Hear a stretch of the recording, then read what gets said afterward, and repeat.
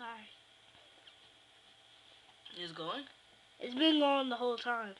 Seriously? Yeah, just go. Sorry. I've been watching you from a distance. I know what you're missing. How can you stay with him, girl, when he don't give a dang about you? You just need to walk away. For you to stay. You don't have to stress it, babe. I'm trying my luck today. What are you waiting for? You don't have to cry no more. Cry no more. It's not too late. Why don't you try?